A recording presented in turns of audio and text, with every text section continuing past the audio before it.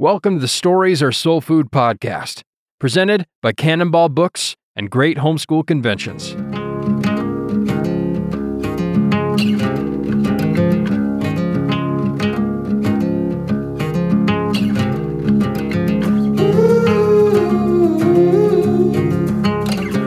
All right, here we go. We're calling SD. Sam, you can call him Sam. If you want to call him SD, we should just call him Sid and me and Hello, hello, Sid Smith. Sid Smith. Nate was saying we need to make it clear that you are SD, he is ND, so we should just pronounce the initials. Sid and it'll make Sid it and Dind. Sid and Sid and how you doing, Sam? I am pretty good. How are you, gentlemen, today? Oh, we're hanging tough like new kids on the block. Whoa, whoa, whoa! yes, yes, exactly. Are we are we starting now? Yeah, well, we already did. Do we need to do hey, welcome to the Stories or Soul Do Food we? podcast? Welcome to Stories of Soul Food. We're here today with SD Smith, author of the most popular bunny books of all time. Yep.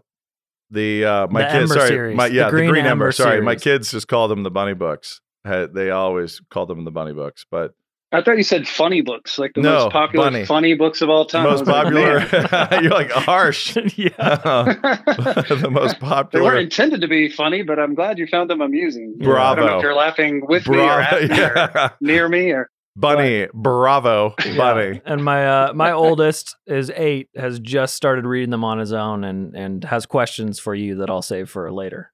I honestly, I Oh. think that a huge part of your your empire that you've successfully built is that initial marketing approach of rabbits with swords. That was mm. look at I have excitement for your children, but moms don't worry, it's safe. They're bunnies. You know, It's like yeah. it might be violent and dramatic and death and all sorts of things, but they're rabbits, so it must be it must be safe and comforting. Yes. When did you think of that idea? How did the empire begin? Where did the rabbits with swords Kickstarter I actually video? could I could answer that question, Brian. Sitting on the Wow. porch in West Virginia, telling stories to his children about the rabbits in the grass. Hmm. I mean, it's, It's actually true. it's a really wholesome and wonderful origin story. wow. It is. That's a Yeah. good I- one. it's Is there- funny. Uh, Did I miss any part that's really important? Because that's the picture I have in my Well, I assume there was a sword involved, right?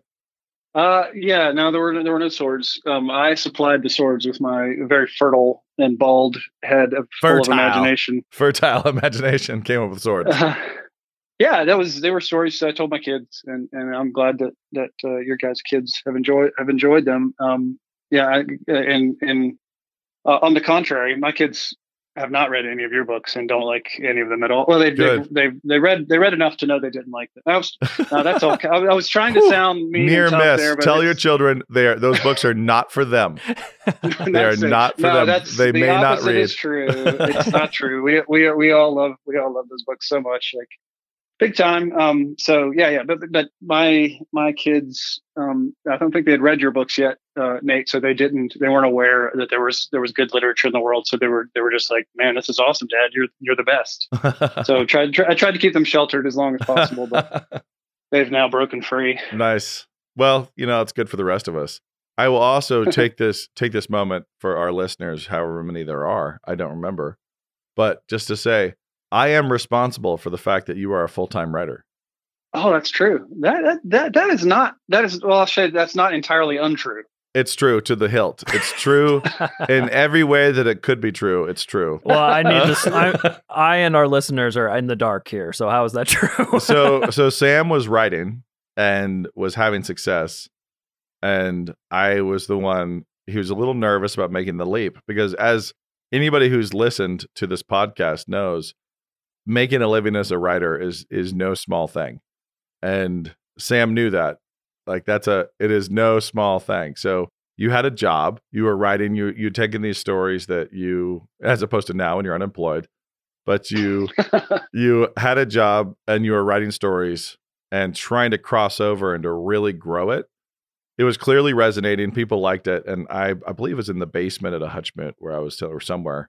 I don't remember where it was, mm-hmm. But I remember just Yep. telling you it's like you have got to do it. You just have to pull the plug, make the leap, go all in. This is sticky. Go all in. You'll be fine. Easy for You me to say. And then Sam did, and he was fine, and I was right.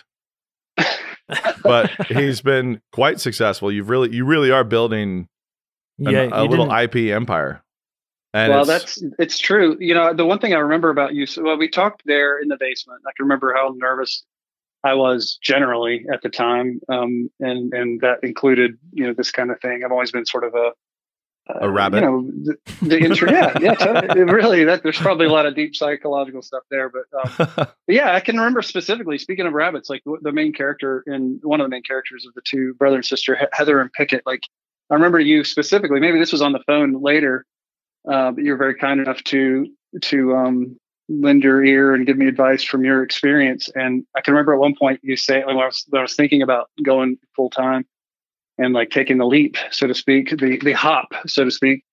You uh, you said what would what would your main character, what would Picket do?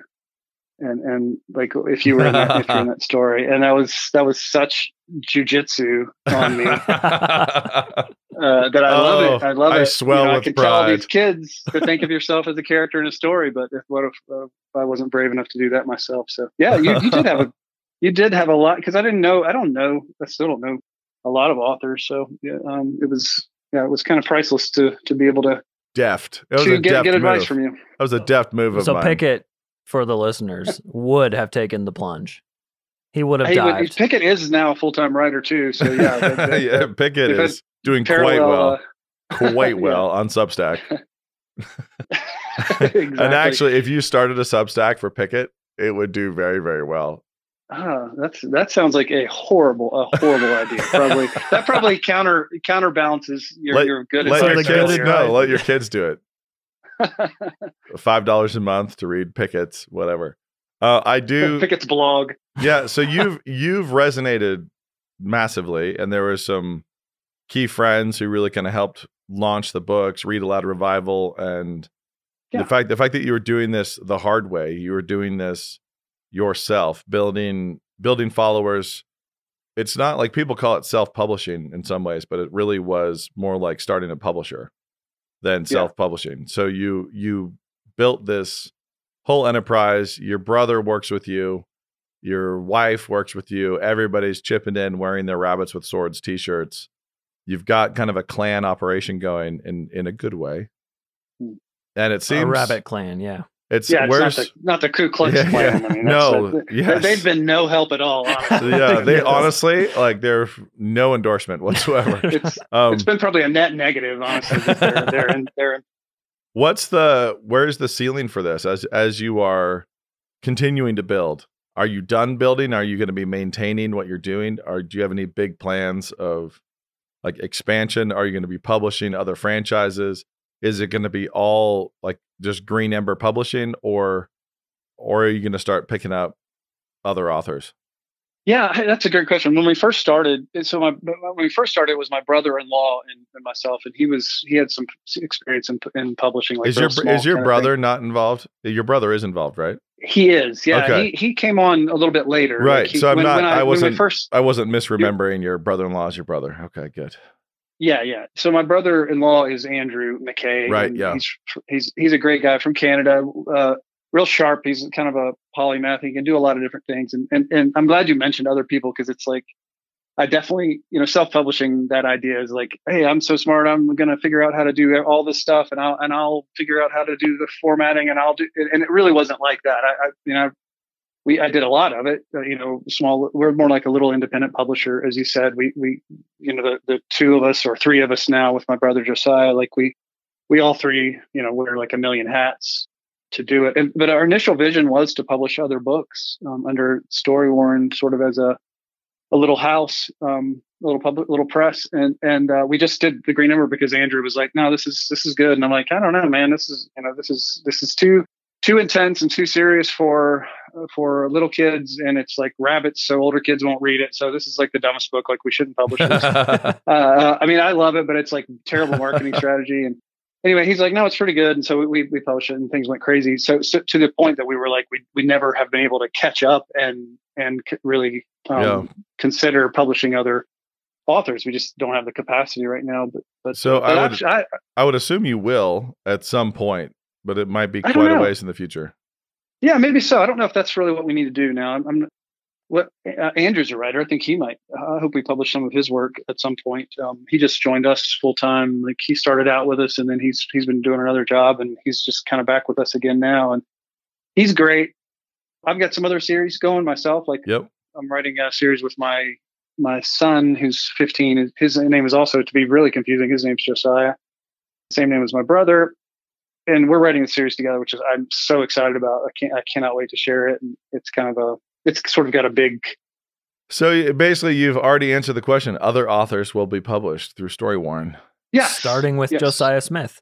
J Yeah. something, JD Smith. But the the fact is, I knew you would you would launch other series, and Yeah, when you've okay. launched other series, at some point, other things will come. You, it's not that you're actively putting out a shingle saying, "Hey, send us your submissions," but you're gonna Yeah. encounter other content that you want to put out into the world.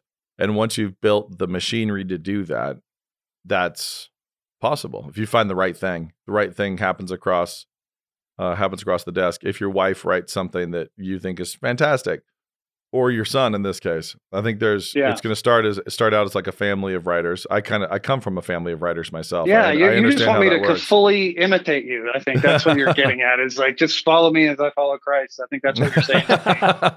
Uh, Quoting uh, Paul and can't I be don't, wrong. I don't know if I have the. I'm not sure I have the engine that, that you have. so uh, I might I might just be like puttering down the road in, in a Pinto. I'm, I'm not sure I have the. Uh, I'm not sure I have the the uh, energy or audacity that you have, but, uh, but I'm I'm giving it a try. Is- you're more that. sage and wise. I'm I I audacity I have energy I don't know that I have audacity I have. Um, Burn it to the ground. yeah, yes. burn it, burn it to the ground. So the question here is for you, uh, related directly to the stories. What are the upsides and downsides of writing with animal characters? We've discussed this on a previous episode, but as somebody Hmm. who's doing that, what are the upsides and downsides of writing with rabbits? Um, I, I I love that, and I, uh, hopefully I'll contradict whatever you, conclusions you came to in, uh, when you talked about the Yes, last please. time. Yes, please. Contradict it. Contradiction creates friction, which is fun. So go for it. We want a big fight, Yes. which will grow followers. oh yeah, so we, we manufacture a controversy here. Yeah, I, I, of course, I didn't do it on purpose. Like that's one thing. I, I did Yeah. always kind of like that thing. Like like C.S. Lewis said, he was always partial toward personified animals, and I've always kind of felt that way too. I, I like them, um, but and it's sort of natural. And I think it was natural because my kids were at a stage when I first started telling them these stories. There were you know, rabbits hopping around in the yard, and I just started telling them about them. I do think later, like um, I think it was Zach Franzen who told me about sort of this storytelling uh, philosophy about how kids are, you know, that, that they can sort of view the world or, or experience um, stories are accessible to them through even at a really young age through like a, inanimate objects like a toaster or a, you know some kind of a thing that doesn't even really have life. And then as you get a little bit older, there are ways to to tell stories that are generous or hospitable to kids through through personified animals. And then you know as eventually as you get older, you you're um you're you're talking about real people. And and I I don't know how much of that's true. That feels somewhat true to me. I Sure. kind of never maybe outgrew the, the I like the personified animal stage. And uh, I think a lot of people like that but but I do think like you can tell a little bit more of a serious story. Like like the uh, I, I like the I like the fact that my my again I didn't pick them but uh, I call myself a rabbit Calvinist. You know I didn't pick the rabbits. The rabbits picked me. But but I, I, I like the um I like the fact that you can tell a little bit more of a serious story be, because you know it's not like a a, kid being Yep. stabbed or something. It's a rabbit. You do have that sort of uh, barrier or, or sort of filter, I guess, that that makes it a little bit easier to tell more intense stories with with less of a. Well, I think you still have the sort of the psychic. I think the kids feel it. The kids feel like the the danger and the difficulty and the darkness, and I like that because I think that's good. I think It's that's important. generous to kids Yeah. yeah to be honest and to, t- to tell faithful stories to tell stories that sort of um, as tolkien said like have that sort of wind of like reality capital r sort of blowing through the the story so i love that and and i think that it's been a it's so I, even though i wasn't smart enough even when you talked about like marketing or that kind of stuff like again i, I don't think i was ever very smart about any of that stuff but i think i stumbled upon or was given Yeah. maybe is a better providentially kind of uh, uh, some gifts that that I that were like a cool playground for me to play in and Yeah. and I think personified animals are a really fun playground that can be really generous and hospitable Well, to, it's not often. readers. It's not often that you can just uh, say something that to sell a book that doesn't you don't have to even talk about the story. You know, where you say it's rabbits with swords. Yeah. Like there we go, rabbits with swords, and you also Right, that that plucks the strings of Reepicheep. Yeah. You know, a mouse with a sword from Narnia, Yeah. and, no, and nobody Down. else is. Yeah, the people Red love Wall. Watership Down, but Red, red, Wall. really Redwall. So Yeah. it's always been Yeah. successful, but Watership Down is obviously a very different version just because the rabbits are being they're not personified in the same way they are but Right. to a different to a different degree uh, Yeah. to a lesser degree but i think They're more here's here's a, here's a weird thing for you that i think this is just this is a random aside that's a very small sample size so it could be completely off base margin of error on this is like 98% plus or minus That's, that's pretty accurate. yeah. So, but the the thing is, I think the telling stories we've talked before about how using animals can enable you to tell more serious stories Hmm. for kids. You know, you you can put handles on it and really, you know, grow them and feed them stories of courage and bravery and sacrifice and all these things that are really important to their souls and their imaginations. But Hmm. you can do it in a way that's more accessible to them and less terrifying. But the Yeah. that's what we say. However, I would add a layer that says what we're doing is actually enabling to a- them to access that bravery and courage in a way that they would not if you were writing about adults. So they don't know what it's like to be an adult and it's it's hard for them to make that imaginary leap just because they are human and they're talking about being a big grown-up human and it's a very different thing that you'd have to fully mm-hmm. explore. But when you have it a rabbit is childlike permanently even in adulthood. So Yes. when you when you have an animal that you have personified and put into an adventure you can give that animal all these adult traits and attributes. They're grown up but they're still it's still just a kid and the they're Mhm. small and they're at the mercy of others and uh, the kid can relate. So i think there's actually ways in which a kid feels trauma duress stress hmm sacrifice, bravery, courage more intensely when it's an animal story than than they would if it were a human story. When you're talking about that that lower middle grade, but hmm mom doesn't mind because mom doesn't feel it as intensely, and so mom is like it's a way of us giving kids really strong, potent stories Hmm. that mom is not trying to protect the kids from in an unhelpful way. Mhm. We're giving them real food. We're being generous and hospitable to them as you like to describe. But my daughter, for example, my youngest, gets I mean, she gets wrecked by animal death Mm. in stories and movies, but is, you know, like the idea of human duress and human pain is kind of like, eh, you know, whatever. And Yeah, she's still very for sure. much she's still very much in that that middle grade space. It's harder for her to relate to an adult human going through a struggle than it is for her to Yeah. relate to a cat, a rabbit, a mouse. Uh, she can Yeah. immediately relate and and fully invest with complete loyalty and affect and affection in the happiness and well-being of something Mm. soft and cute and cuddly and accessible to her childish imagination. My daughter's exact same way. My nine year old, my youngest, is, is exactly the same way. And I totally, and what's cool to me is that that's exactly been my experience. Like the, the, the most, I get a lot of feedback, a lot of letters, a lot of notes and messages and stuff. And, and it's a remarkable, and maybe you have the same, same experience, but it is remarkable. Like the extent to which people, kids, especially who have gone through suffering, like, um, cancer or Yeah. um, death or loss or tr- some kind of trauma, like you said, even in the real, like that these books really, really resonate with those people, like Yep. big time. And parents and families feel really like that's what I, I get super moved by people in that like going through pain because like, like you said that intense pain is usually sort of a, an adult experience and, and Yeah. but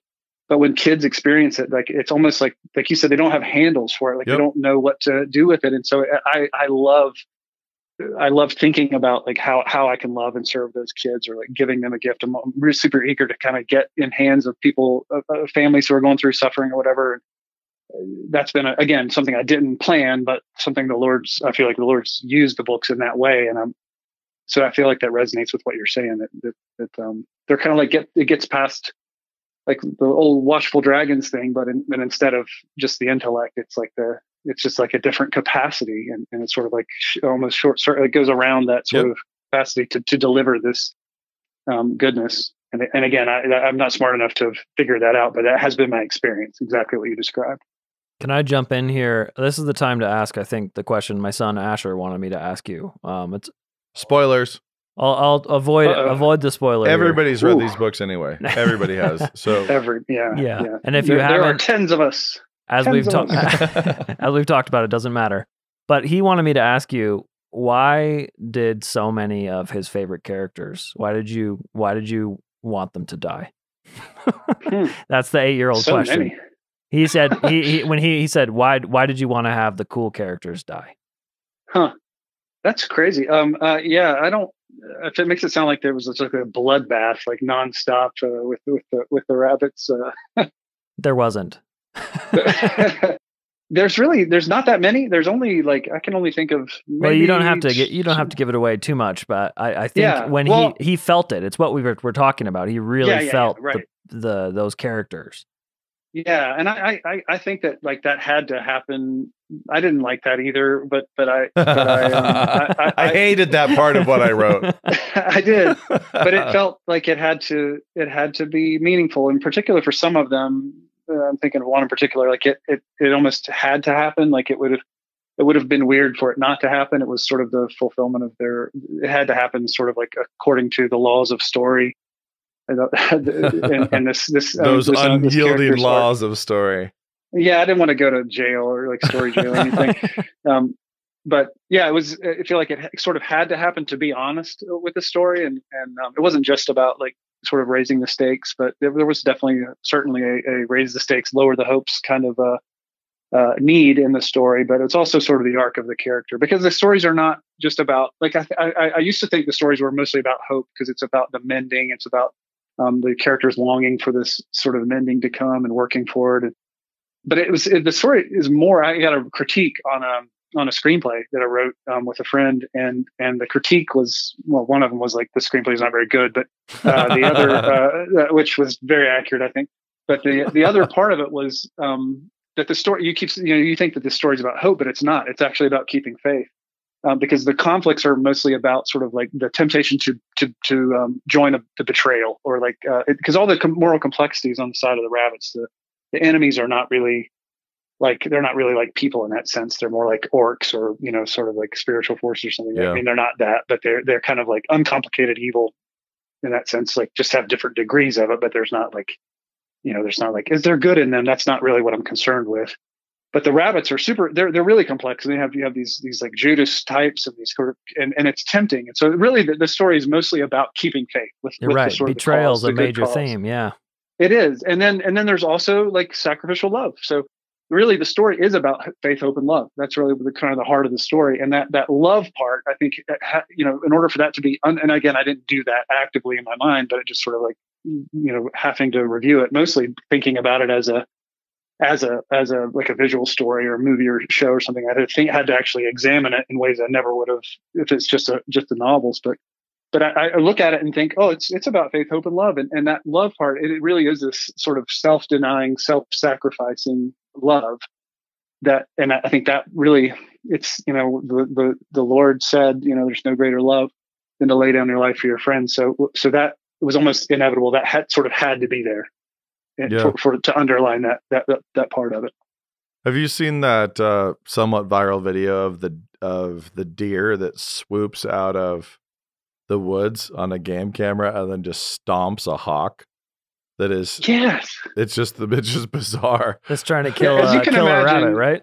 and just gets Yeah. into like a death frenzy. The deer gets into like a warp spasm of the ancient Picts and comes Ah. whipping out and just smack Yeah. smacking that hawk. I can't wait for that and the the ride and the dance, uh, Right. Rabbits with swords uh, co- cr- crossover. Um, ma- mashup moment. But you can imagine when anything like that happens, my, you know, you can imagine my, my messages in my, in, you know, inbox and stuff kind of gets full if, if there's a rabbit hopping or, you know, I, I didn't have any idea that rabbits would actually sort of uh, do any sort of fighting or resisting, but there, there are lots of videos of them like kind Oh, of yeah. jumping over a hawk or flying or Oh, yeah. running away. Those are those lo- are my favorite. Those are my favorite. The favorite my favorite are the ones where the rabbits get a little bit of swagger. Like they're so they're so fast. Like the ones that are real quick that they're willing to get out in the open and tempt the birds of prey. And then just evade and dodge and jump, and it's like weird. I love it. It's like they, it's it. like they paid a guide to take them out to swim with sharks, like I've done. Where it's like, hey, we're gonna we're gonna take you out to the peregrine falcon field, and We're gonna do a lot of zigzags. and we're gonna do, and we're gonna do a cage free swim. Uh, yeah, the running of the bulls, the the, the rabbit pa- Pamplona. Yeah, Yeah. they, they that I didn't know about that stuff. Again, I, I can't probably stress how ignorant I, I am of of uh, nature creation. Rabbits, like people sometimes think, oh, do you raise rabbits? Like, no, I, I don't. I don't know anything about rabbits. I did. I did learn a little bit, but but uh, yeah, that's. Uh, I was surprised to see those videos. Like that was. I was like, and oh, now now millions really of happening. fans everywhere are sending you every single one. Yep. Yes. Every Yes. single video is going to be fan sent to SD Smith immediately. It Hey, is- look, it's it one of millions. it's one of yours. It's one of yours. It's it's true. It's all true. uh, this that kind of touches on what I was also thinking about. So Nate touched on kids can feel how a rabbit acts, perhaps better than an adult. But I also wonder if rabbits allow you to leave out a ton of extraneous detail and realism that mm-hmm. you actually would have to do if you had humans, and allows you to focus on. You have very thematic storytelling. Like it almost. yeah, you you're get, able you to physical desi- you get physical designation. Like you're you're yeah, I could I could see that really working where it's like it's easier to describe and have a quick handle on what this rabbit looks like and that Right. rabbit looks like. because we're not stressed about what exactly the rabbit's doing at any particular time besides the main action of your plot you know and the thoughts that they're working with We It'll- know they're sitting there with their nose wiggling. That's what they're doing. Yeah. it's got a tail it's got legs and a nose and uh, it's probably touching its ears those are the things that move But you also with you when you add swords and personify, you got a little bit more, a little bit more gesticulation and description that's necessary. right and i don't i don't mean that in a sense that it's not your stories aren't real in that way i just think the focus is what makes them so fun to read is because you're not we're not distracted Yes. Well, I, that's I totally agree with that. That's the. I mean, to me, like writing fiction is is a magic trick, and and uh, like the best writers, you know, like just even think about. Well, I often think about Harry Potter or like J.K. Rowling. Like that that world is absurd as far as like if if the kind of things that they can do can really happen. Like that's you know there, there's always that sort of like what's the cost of magic or the cost of power if there's not a cost and you can just kind of do it all the time or whatever, then it's sort of like a boring story. These right but but if you but but great great writers can just like not make you think about it. You're just like don't think about the fact that of course they could do 50 different magical things to to move, but you still stay engaged because it's a sleight of hand trick. It's like look look at my left hand, and you know meanwhile your right hand's like you know don't think about the fact that these are rabbits who eat grass or whatever. Like don't think about them in that way. Only yeah think about them this way and think about them in this really limited sense and and I'm I'm high, I'm very focused on the plot and and sort of internal stuff with the characters, like point of view character, what going deep with them, and not not um, I don't like giving. I do like giving enough details to where sort of like you have those little hooks where you can sort of know where you are and all that, but of but course I'm not yeah super interested in that. Like even to do blocking, even for battles or for like stuff, is like that's Yeah. hard work for me. I don't I don't love that, but I, I do that just to try to you know to, for clarity and removing obstacles um, from the reader. But but uh, I like I like the internal stuff, and and yeah, I totally agree with you that it's like I don't spend a lot of time trying to you know indulge in like whatever their um, he he was this tall and he was you know I, I, I, it's it's all about the internal feeling and the struggle and like how that's related to um, yeah the, the sort of the plot and, and it's absolutely I think all writing is sort of sleight of hand but um, that's definitely a big um, but yeah a big a big feature I think of of the Green Ember stories. If you had to write a series, another series with another species as your uh as your base race, what uh what animal would you pick? Hmm. Hmm. hmm. I, I I have never ever considered that. I thought you might not have. You, So let's go on the record. correct. Let's go on let's go on the record right now. first question Let's get let's let's get this let's get this sorted. Well, the, the only I, I do kind of like um I, I like squirrels, but I feel like that's just too close to. It would just be doing the same kind of thing, and and I'm not I mean, again. I'm squirrels not super squirrels like, are awesome, yes. rabbits with tails rabbits, Rabbits- with tails Jumping, climbing rabbits. Um, yeah, so I, I, it might be it might be them. I really don't. Again, uh, that's not like I'm. I'm not. I almost feel like that would have to sort of happen. I, we we've got. I like.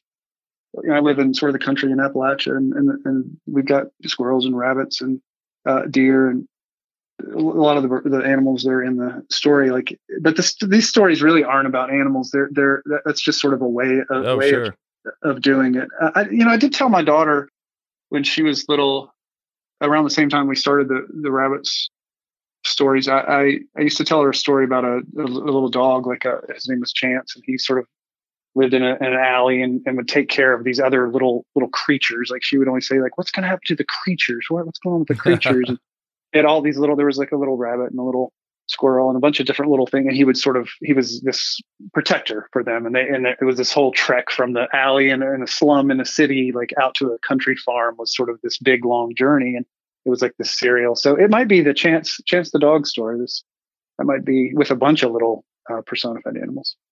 A couple times you've mentioned the word generosity and how important generosity is in writing. Can you can you explain a little more about that? What do you mean?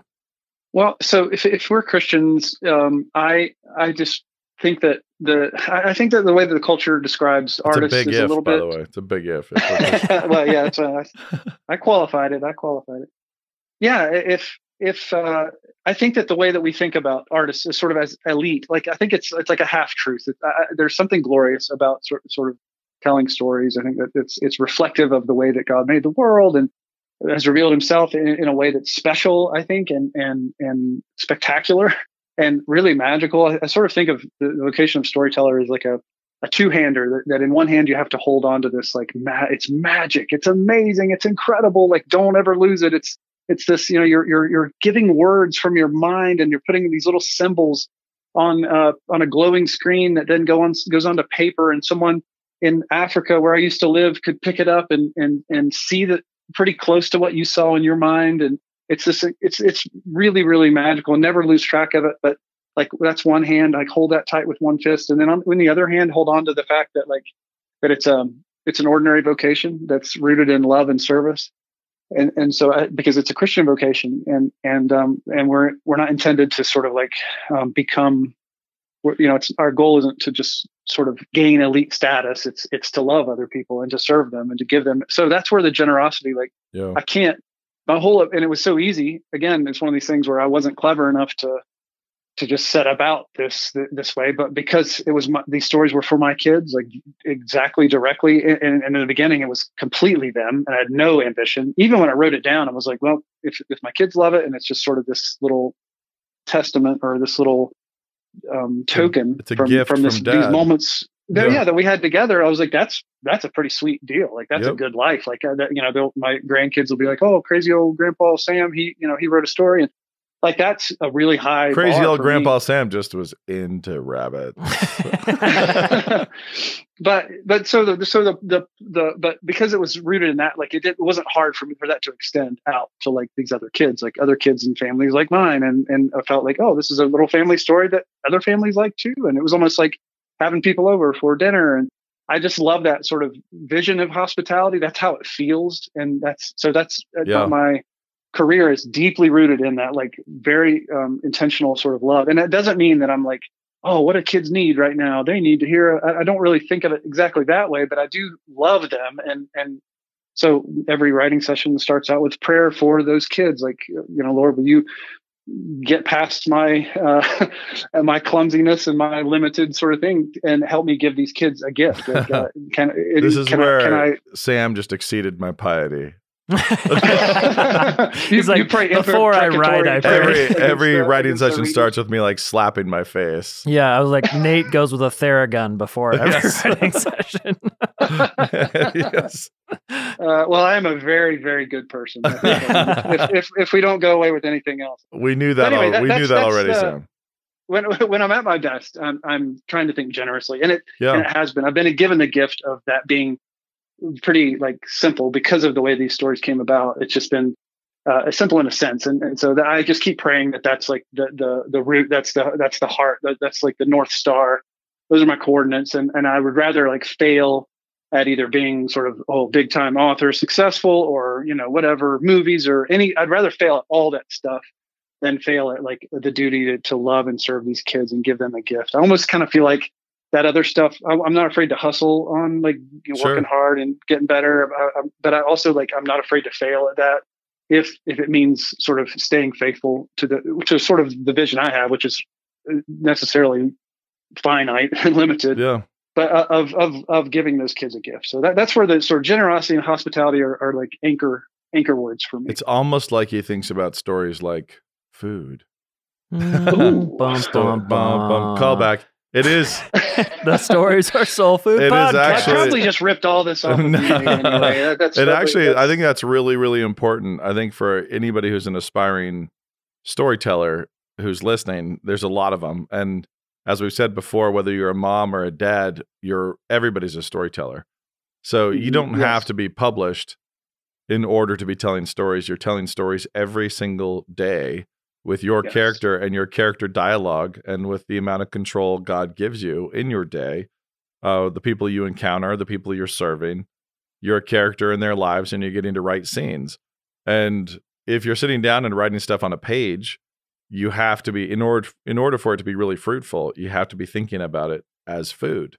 I am trying to like it's hospitality. I'm going to try to serve something. I'm going to try to cook something up for people and however many people loaves and fishes style that God feeds with this is kind of up to him. And yeah, the hustle and grind is part of it. We got to we got to do that. But I've had, uh, I mean, stuff that's been the most critically acclaimed and even the most fan loved, not serve as many people as other stuff.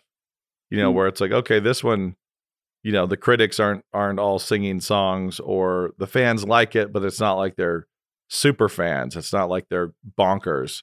But it just went and went and went into more countries and to more people and and so on. Hmm.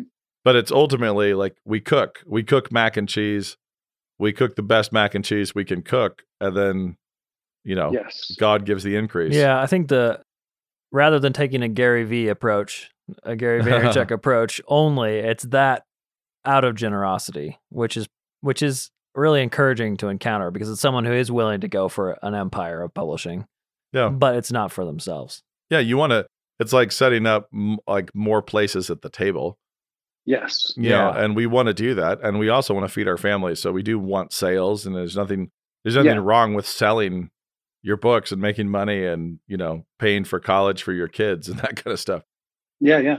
that's all great but the ult- ultimately the meal has to be wholesome we want we Mhm. want the meal to edify and to strengthen and to strengthen imaginations and to be soul food we want whether it's a little a kid somewhere who's gone through hardship a kid somewhere who's never gone through hardship Mm.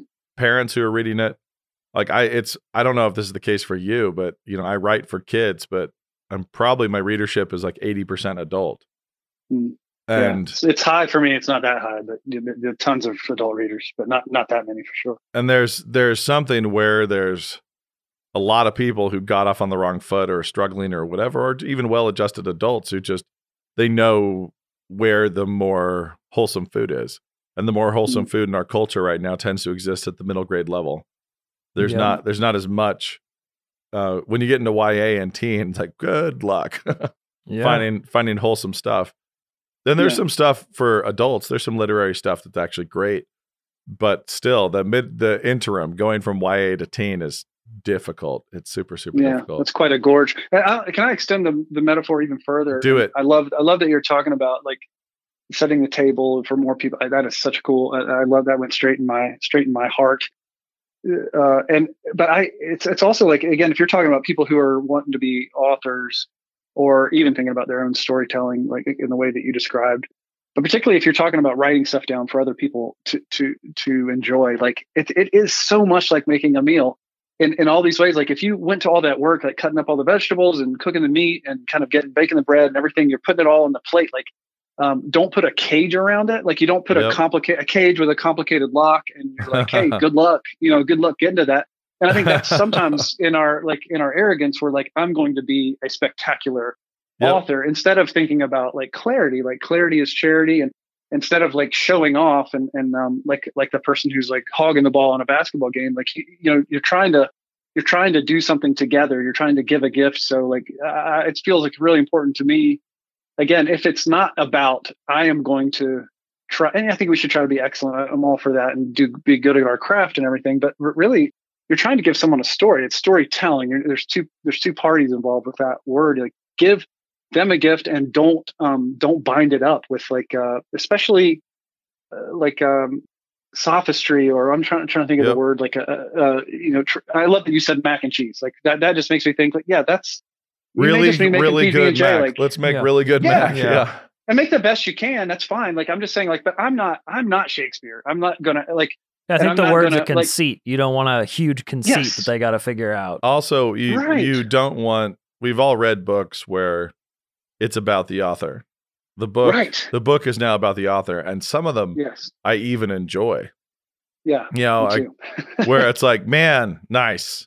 Yeah, that well was done. that Right. was Yeah. nice, and I still don't give a rip about your characters. but Y- that was- exactly yeah that yeah. was deft. But I feel like I'm I'm watching a a Harlem Globetrotters game as opposed to a real one. you Feels like a lot of Yes. modern American authors are like that. I'm, I'm thinking like the yeah they're trying to be. Ernest Hemingway or they're trying Joyce, to be like James they- Joyce. You know, although Yeah. he can still do a good- he can still do good ones, but uh, Yeah, but what's the point? Like that's all. Yeah, it's exactly. It's about like uh, if if you keep showing up in the reader's mind, you're probably doing something wrong. At Yep. least in like in stories. I mean, it- Yep. yeah, it's I, I, it's not a competition to see who can write the best sentences or the best paragraphs. And like I, I think you should. We think we should try to write the best par- it's a little bit I- of a competition. I- we want. I mean, But- yes. The th- the simple fact is, we all serve a God who wants us to steward our opportunities and to try to Yeah. do what we do with excellence. He doesn't want us to phone anything in. But Yes. it's very very easy for us to lose track of the actual scoreboard and uh and be just trying to score points for the for the ego. And I think Well, and- that's that is honestly anybody who's been an anybody who's been a professional author for any amount of time is either completely jaded and completely artificial and false at this point. Like they're just fake. they're fake to the core, or they've experienced a large dose of humility because you Mm. cannot take your stuff out far and wide without developing a real thick skin and a real humility and understanding that it's not about you because the number of people who will come up to you and say yeah i don't like your book or i think rabbits are stupid or like yeah i tried to read your story but it was dumb. Like i've had that like uh, without the not the rabbit comment but i've had that a thousand different ways. You know it's like Mm. you cannot i've been doing this since 2007 and i've got 12 novels out there and i've toured for most of them and you cannot do that without becoming humble or faking it like when you go hmm. out on tour and you come back and fake like you're super famous you know like no i showed up to a borders in chicago back when there was a borders and i would like to point out also i had the last laugh borders you're gone but i showed Burn up to to the ground. yeah, I showed up to a Borders in Chicago for an event. It'd been a grueling, brutal, brutal, brutal time. I'd had on this tour, I had one day that started day in scare quotes. It started in Oakland, did schools in Oakland, got kicked out of one school in Oakland because it was a Jewish school, and I'd written a short story called "The Rise and Fall of Circumcision" at one point, and so they thought I must be anti-Semitic, and so I was, I was booted.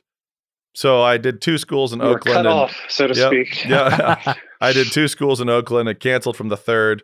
Went straight to an airplane to Phoenix. Did a bookstore in Phoenix. Then like this after hours event with sales reps and bookstore retailers. And then straight from there to the airport to Red Eye to Chicago.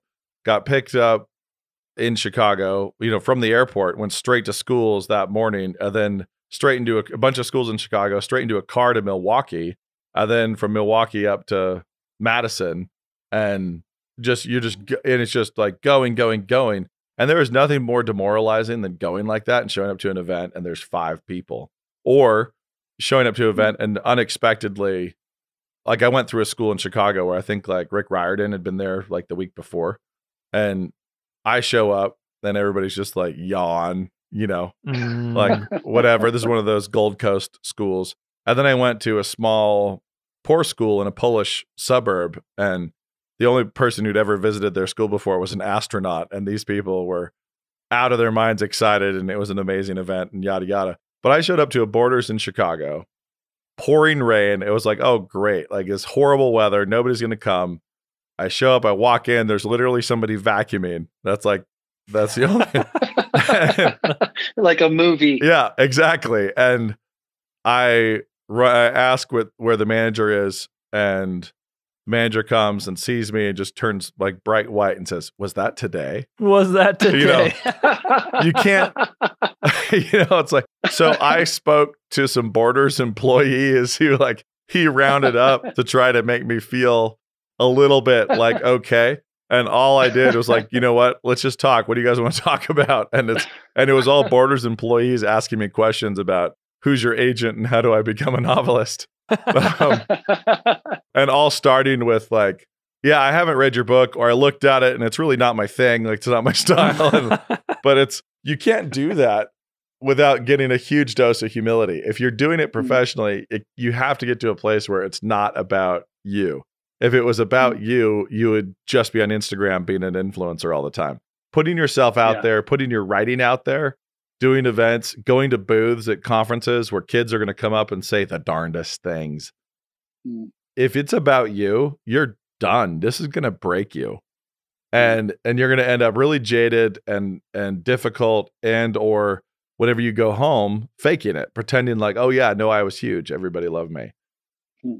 You know, so I think that if you do this, there's a humility that's required to keep doing it. And there's a lot of times when in aspiring novelists, I really do. Some people just love stories, but overwhelmingly, there's a ton of people who want fame and fortune. Mm, right. And it's like, this is, as I've said before, this is the way to get rich and famous without being beautiful, musically talented, or athletic. Mhm. And Not not to say that. not know, to say that we we're aren't not. those Sam and I are both. right? Sam and I are both very- all of those things. But it's, Extremely beautiful, both of them can vouch. yeah, I mean, we would hair, if we had hair, had if we'd had bands, we would have been huge that way. but it's it is really interesting because uh, you at this point you've done this a lot you put you sit down you pray for your readers you try to be generous and hospitable and even when it works and they love it you put all this time into it you serve it and then kids say i read it in an hour and a half you know right. you spent six months or nine months or a year on this thing for them and you have to be able to like smile and high five them Yeah. and and be grateful that they they read it and were fed. Be grateful that they were fed, even though it took you forever. And they treated Yeah, it like my- a, my they son's treated just- it like a snack. Just crushed the audiobooks in an afternoon, you know? yeah, yeah, And exactly. they want and they want the next thing. It's, Right. yeah, I, I sympathize with uh with parents. I know a lot of moms who are like, yeah, they slave over dinner, and then people are like, yeah, have the temerity to get hungry again. they're very like, quickly. chew. Uh, Could you please chew your bites? Put your fork down. like, this was a good Can one. Can I have a snack? Uh, we just ate ten minutes ago. I know, but I want a snack. Yeah. Like, what? When's your next book out? I, I totally agree with you about like it feels like you have to develop a a, a, a soft heart and a thick skin, like it, it- from the very beginning. If you're like purposing, and, and you're exactly if it's if it is about you, if it is about your performance and your identity, again, like going Right. further into the sort of Christian thing about like I. If my identity is rooted in Sam Smith, famous author, or whatever, then I'm I'm toast. And- it's really because it is a it is like sticking your you know when you when you're sharing your your heart you're sharing your books and stuff it's like you're sticking your neck out in a in a world full of flashing swords and like you will get chopped like that's just a fact and so you have to have a and, and so many of us who are writers are are are timid by nature or introverted um, do deal with fear anxiety that kind of stuff and, and it's part of like sort of the flip side of the coin sometimes i think for some of us And- what would Picket yeah. do? What would Picket do? we do we have to like we have to think we have to be super brave like and just showing up and being brave but it's if it is if it is your ticket to like i'm going to be famous and i'm going to get like somebody famous is going to name drop me or whatever if that is such a a fire that is so uh it just does not endure. It's like not it's not light. It's like a fire that burns up and then dies and it's not an enduring light and and um it won't it will not satisfy. And you i don't know how many people i've heard say that like uh, when i was a kid or whatever like oh if you think fame's gonna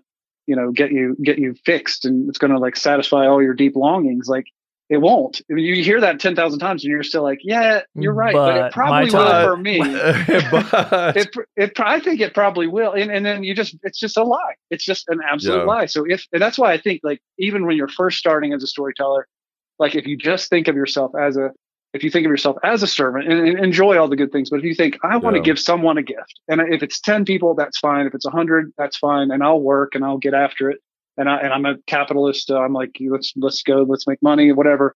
but if if if your identity is wrapped up in it and you're and, and it's just about Yep. your it's a ticket for you to fame and fortune like it's a dumb, i think it's just a dumb investment but both because it's so, because it's so hard for one thing it's like Yep. it's only an insane person would do it it's like what you're going to spend like you said just thousands and thousands of hours writing something down and then you're like i think people should spend their time reading what i wrote like it, it is so it is so audacious it's so arrogant it's like an insane thing to, Yep. to expect it and there's a there's 50 trillion books out i think that's scientifically a Yeah. fact um uh, and Fifty and, uh, so- I think that's 50 I think that's per Yeah. year. So it's like why would anybody care Amazon. to read your your book and then it's like it's so it's it is super audacious so if you don't if you don't come with some yeah some measure of humility like it'll get knocked it, it'll get knocked into you but, oh, it'll get knocked. that- it'll get knocked in fast. You better be able to roll with it. I actually, this is giving me flashbacks. I'm having I'm having flashbacks of uh, one of my first Costco signings, where I got sent into a Costco, multiple three to sign Boys of Blur. So the book Boys of Blur was coming out, and I went in there.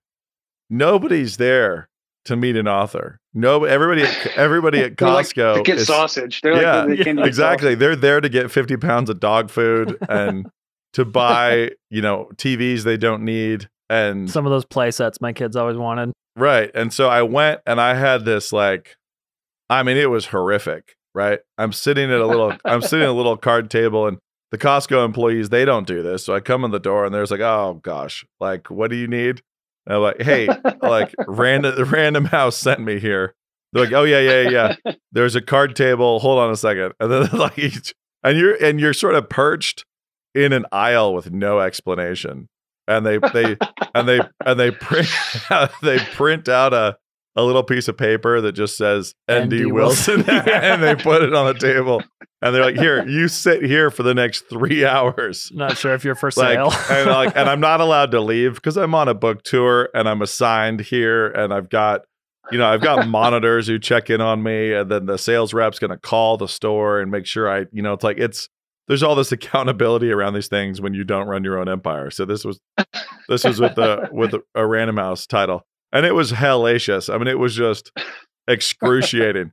and so then my response was like okay. So that was awful and I've got and I have more to do, you know. And there's so many people who stopped and kind of looked at the sign and looked at me and like, What what's go what's What going on? Why they let you? One person was like, they let you sit here? Like what's um like I'm required, okay? Like I'm not but uh so then the next time I was like, you know what? Screw this. I'm gonna wear a hairnet, even though I don't need it. I'm wearing a red apron and a hairnet, and I'm bringing thousands of sentences on toothpicks. yes And- i love it uh, i remember seeing that i remember oh, seeing Oh, you do that i was like that And- is the greatest idea And that was a blast. You know, it's like, but I had to be willing to make a fool of myself. yeah You know, I had to be Yeah. willing to go stand by the table and people, it was samples at Costco. And they rolled up and it'd be like, what are you giving away? And I said, sentences. and they'd be like, and they'd all kind of pick up a toothpick. And, and seriously, there were people who actually said, like, do you eat it? And I'm like, nope. That's You- straight I out of mean, the Phantom was like- Toll booth. I mean, you love that. can, you can, one can eat it. It's like, but you read it. And they'd read these different sentences and laugh and think it was funny. And I actually moved a lot of books i love it because they're hardcovers and they're cheap in Costco, but it's, so I sold a lot and it was fun. More importantly, it's like, it was like, I can have excruciating humiliation or I can have joyful humiliation. I can, I can, I can enjoy myself and try to be generous and goof off. But yeah, it was that kind of thing, like getting out there. It's like, oh, it's brutal. And then there's a, a guy I met this last year through COVID who's a, a trainer for basketball players and a lot of NBA players as well. And he said that the saddest thing, these guys who've achieved like NBA all star status, who are just unhappy and they know they've got this prize in their hands that is ash. It's just ash. Mm. Uh, Mm. Ecclesiastes is true, and what they Oh, have yeah. is nothing. And they try to reassure each other by saying, "Well, at least everyone wants to be us." yeah And it's like, at least we're at least we're envied. We actually know Mm. how much this sucks and how much we're still just broken people and we're not actually happy.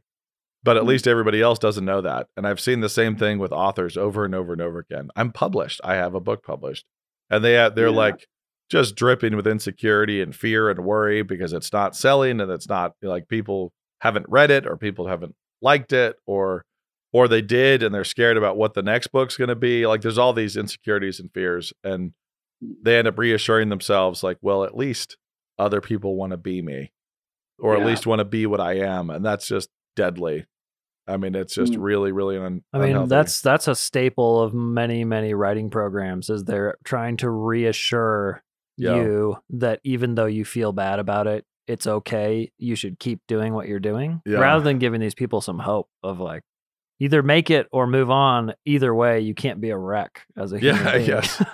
E- either way get your get your priorities right know that you're cooking mac you're cooking mac and cheese and Yeah. you want it to be the best mac and cheese you can make and then you want to serve it to as many people as you possibly can many of whom who won't like it many of whom will eat it too quickly many of whom will forget it right afterward but hopefully Mhm. you'll you will leave them better than you found them I mean, Uh, if, just- if your vision is a uh, yeah i would i would 10 times rather i would rather read and be around an author who was like making mac and cheese for a for a family in the trailer park than like serving cocktails at the at the sort of new york uh, loft apartment with because that that whole uh, that whole even the sort of the, the literary awards and, oh yeah and publishing and even sort of the, the, the sort of gamed bestseller lists and stuff. They're, they're such a uh, they're such a little club of like elite people who are trying to please each other. And Yep. I don't know if you've read some of these articles about like some Trying of these award winning books. Yeah. They're like sell like five thousand copies or something. They're just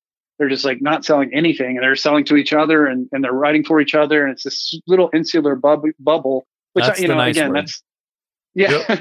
But it's but i just don't i i don't want to yeah I, I i don't know it's easy to say oh, i'm so much better than but i really don't I, that feels like such a trap i don't feel i just feel sad about that i don't feel like oh um that it's Right. it feels so much superior i just feel like i don't want that i i i've been and again I, I think it's a theme that i keep repeating it feels like more and more true to me every day i don't you know uh, that a person cannot receive you know even one thing unless it's given to him by from, from heaven that you know that, that um, jesus says and and and uh I, I just feel like that's so true that there's no, but I'm just, if, you're a young writer, like, yeah, as, aspire to serve the mac and cheese is like some of the best advice you could give.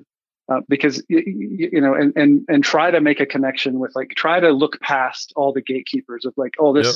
this publisher or this agent has um, this coin uh, of um, self esteem or or Yep. validation at and- least i can and- say i have an agent yeah right and uh, then they'll give it to you and and and we get so desperate that we invent these dumb awards like some kind of somebody's choice awards and we put all over the covers of our books to to say like somebody picked me and you know meanwhile it's somebody like picked me you, you know and it's just sad like, somebody just loves not- me That's got to go on an award. Somebody picked me. That's the somebody picked me annual award.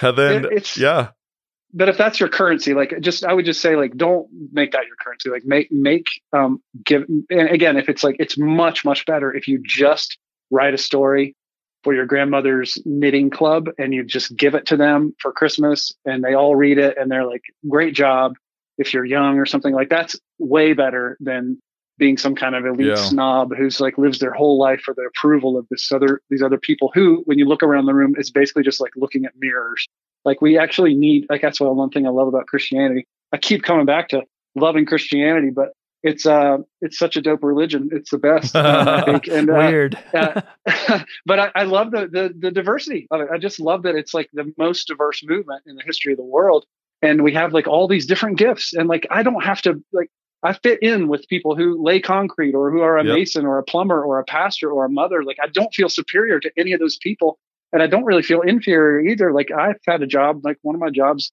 coming up was I cleaned toilets. Like that was a job, and I.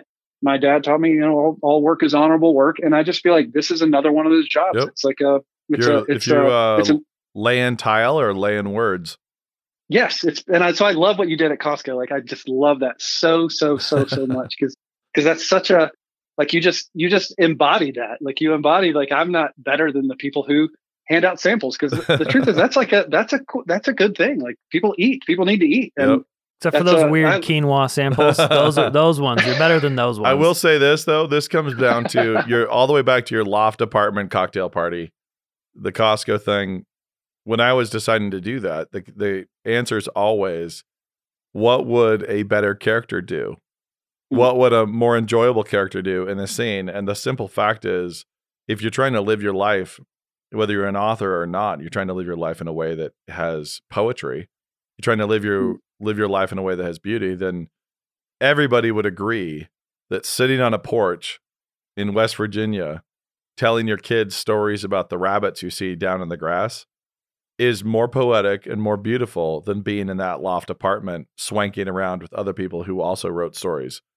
Mm. Like it just Yeah. It's a better scene. it's a better scene. It is just a better scene. It's a more resonant scene, and it's a better way to be.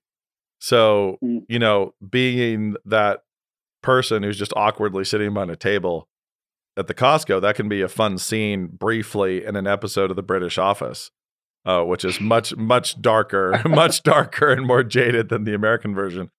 But it was a lot more fun and a better scene. And I gave more people, people who weren't buying books for me, I gave them a laugh. I gave them Yeah, A you Gave him moment. something. yeah, I gave people I gave people stuff instead of just an Mm. awkward moment.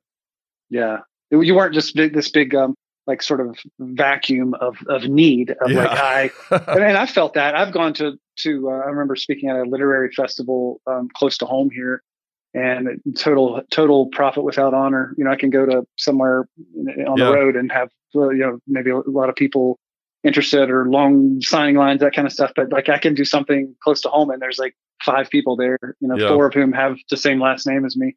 And it's just like, uh, but that, that I remember uh, doing that and it like re- really hurt me because I, because I, I, the, the, at the time it was, it was several years ago and it was like that along that whole journey you're talking about of kind of like figuring out, oh, this is like, this can be a really painful thing. And if I'm looking for validation from sort of my capacity to amaze Yeah. people or to, to receive worship, which, which you all, we all want. We, and I don't think it's even bad to like want to, for people to love your, your work and to buy them and to, and to praise them. I think that's, Please that's love my mac and cheese. Yeah. yeah, yeah, please. That's like that's a great thing. But but yeah, realizing what it is and and um and uh, not not letting that be. It's just a it's a huge tell. Like if Yeah. if if uh if if if that's if that is crushing to us, then it was like, well, what was I actually trying to do? Was I trying to achieve fame and fortune, or was it And even going back to Ecclesiastes, like that's my favorite book ever. And it is it is full of that like um, those rhythms of of, you know, of, what- of what we're trying to figure out, and there's all this injustice, and there's all these kind of different things that are happening that are inexplicable. But he keeps just coming back, so so I can enjoy. You know, like life is fleeting, so like enjoy these simple things, and and trying to have that sort of simplicity of heart that that could say, I don't mind serving uh, mac and cheese in a trailer. Like that's a cool Yep. thing, and and um, there's nothing wrong with that, and and uh, and it's actually honorable and cool, and and um, but but it- it- I think there's so there's so much joy. There's so much joy to be had there. Yep. And it's, the other thing that's amazing is the we've we've talked about this too, but the way that a kid who reads your book, a kid who reads about Heather and Picket, you're imprinting in their memory, and it, ha- it has a permanency in their imagination that their own life does not. And that's the Mm. that's the weirdest thing to me about storytelling and about the design that God just baked into reality. We Wow. can remember stories and moments from stories and movies or fiction, but especially fiction if it touches our senses, like if it really moves us in in some physical way. We can remember scenes from books far more vividly and clearly forever than we remember even important days in our own lives. Mm. And it's So it- true. it's just bizarre. Like my birthday three years ago, I got n- I have no idea. Right now, I'd have to go somewhere and try to really focus and remember Yeah. what happened or what I did, but I can remember just with perfect clarity scenes with the hobbits.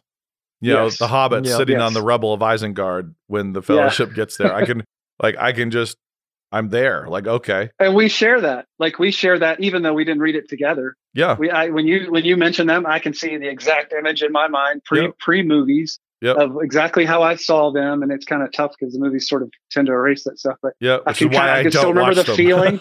I mean, either.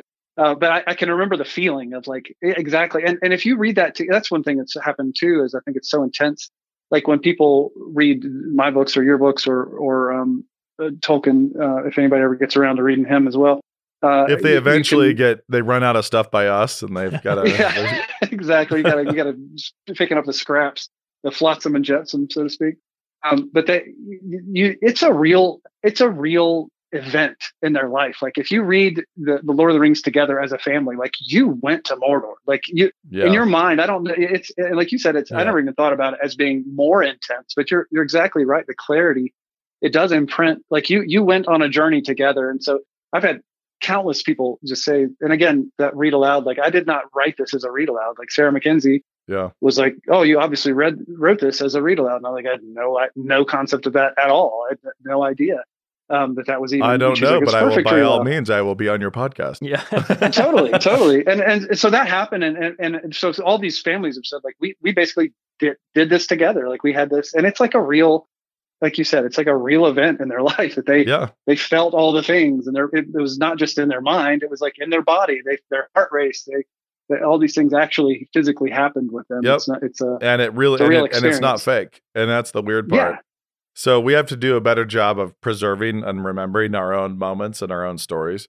But at this at the same time, God gave us the ability to just receive a vicarious experience in a more permanent way than we receive Mm. actual experience, which is kind of it's just bizarre to me that he Live did by faith and not by sight. I right? love it. I love that he did that.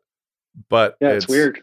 you know which is and and to that point which means that if you've read different new testament accounts that you know feeding the 5000 or things like that there'd be really striking ones that would stick with you forever but there's also if you've read them then you have a stronger uh an actual stronger handle on it than than some of the people who were there had Mm, which, Which is, is o- which is obvious crazy to from, from even about. the accounts in, in, in Yeah. internal accounts. That Isn't that what ways that Jesus? that's what Jesus told Thomas, right? yep right, that I was thinking thing. of Thomas too. Oh, that's yeah, yeah.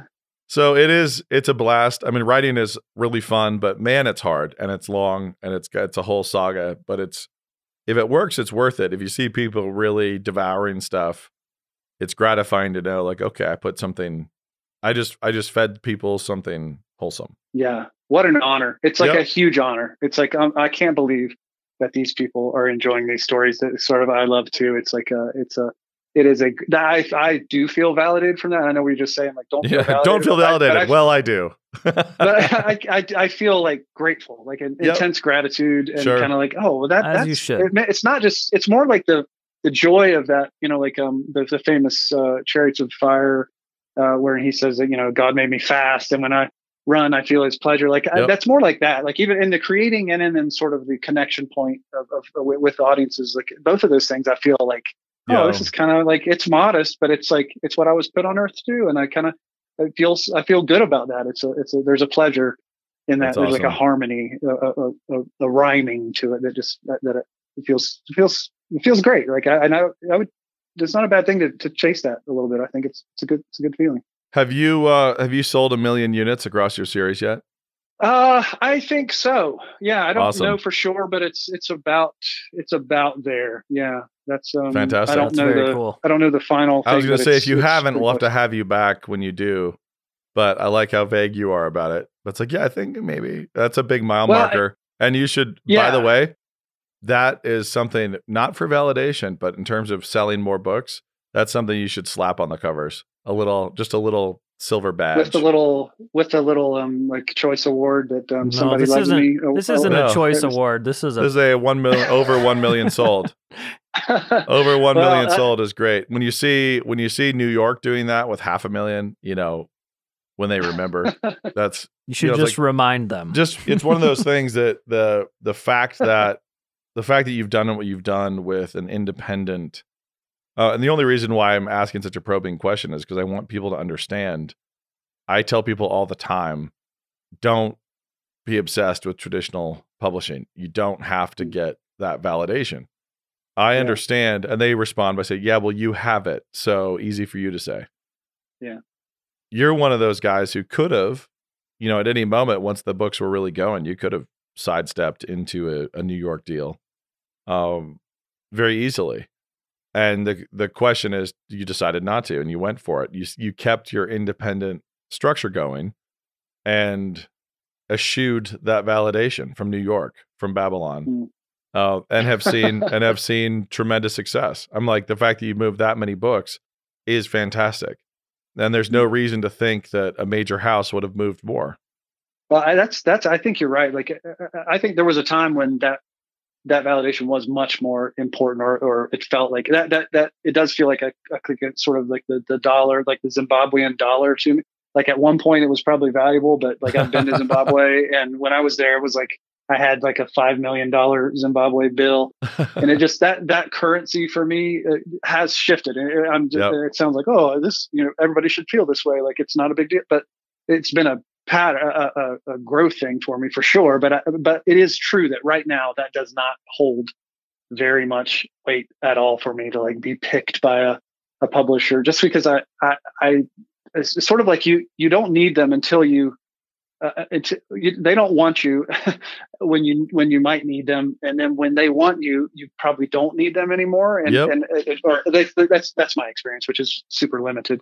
Um, but I'm I'm fundamentally lazy and always moving on to new projects. uh, you know, the next shiny, energetic, the next super half, energetic. of half of that may be true. Yeah, so so it's the basically I I loved like because when we did Hello Ninja and got that thing really going with totally independent infrastructure. It was yeah. it was pretty awesome to have to to step out of the cash flow burden and the inventory burden and the fulfillment burden. Brian was involved in that. The fulfillment burden There's of sending some, stuff off to Target. Some significant oh, burdens. You know, sending off oh, inventory yeah. to Target yeah, and then they hold it right to the day when they need to pay you and they ship it back right. and then reorder the next day. The exact same units. This yeah, yeah. and minus we've, all the damage, uh, all the, minus all the damaged copies, and right, you're just right. like, what yeah, on earth? Yeah, and just saying, you know what, I I don't want to deal with that. I'm like, I'm going to go work on other stuff, and so let's sell this to HarperCollins. That made perfect sense, like I I said, because of aforementioned laziness and desire to go work on other stuff.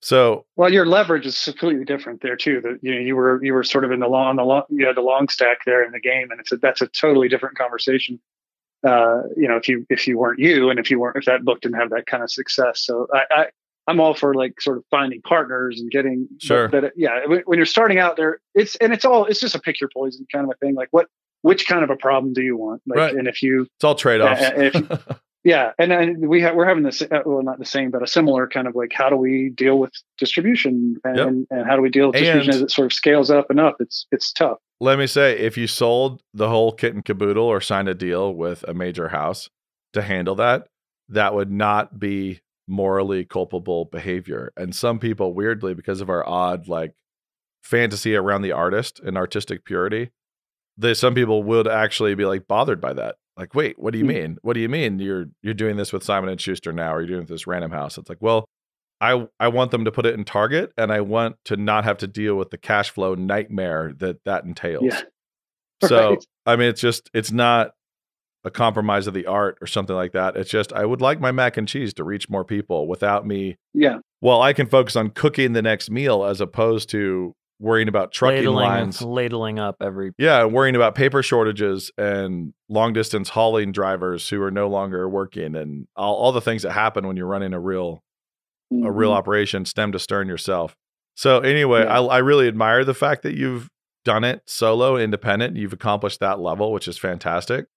But in that admiration, I could also fully understand if at some point you said, you know what, I'm building the next series and I don't want to have to start over with this infrastructure or or handle this cash flow.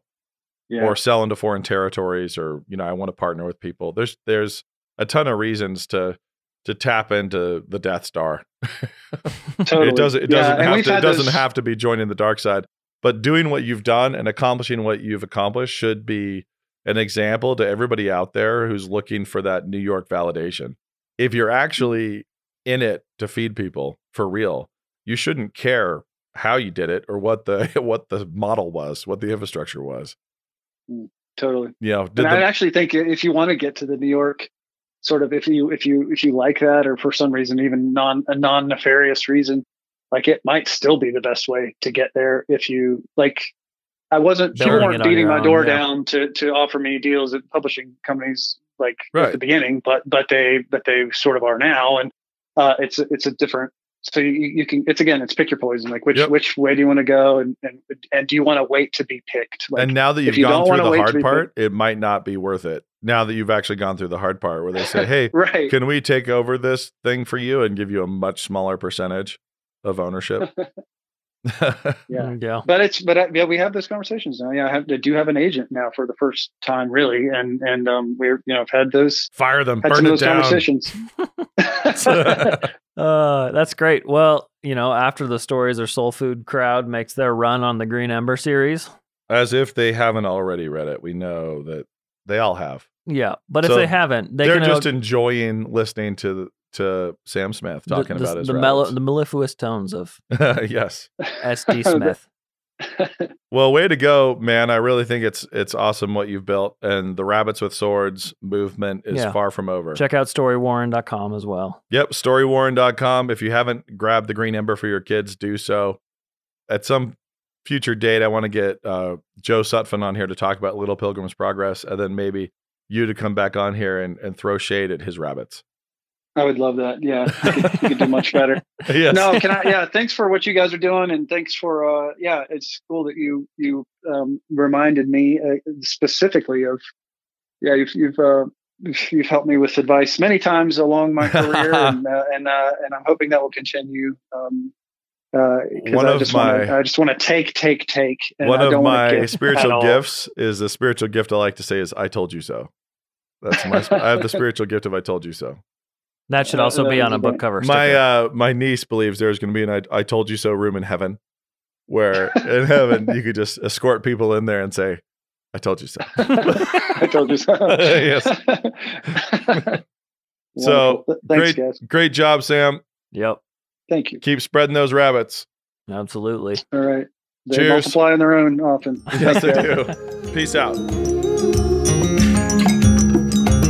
If you enjoyed this episode, check out more from Nate and others at canonballbooks.com.